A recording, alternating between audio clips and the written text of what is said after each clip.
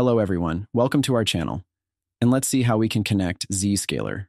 Firstly, download the Zscaler application. The app is available for both Android and iOS devices. After downloading, log into Zscaler using your email address and password. Once you're logged in, you'll find the option to toggle it on and off. Simply turn it on and you'll be able to utilize it for various purposes. I hope this video was helpful. Make sure to hit the like button and also subscribe to our channel for more helpful videos.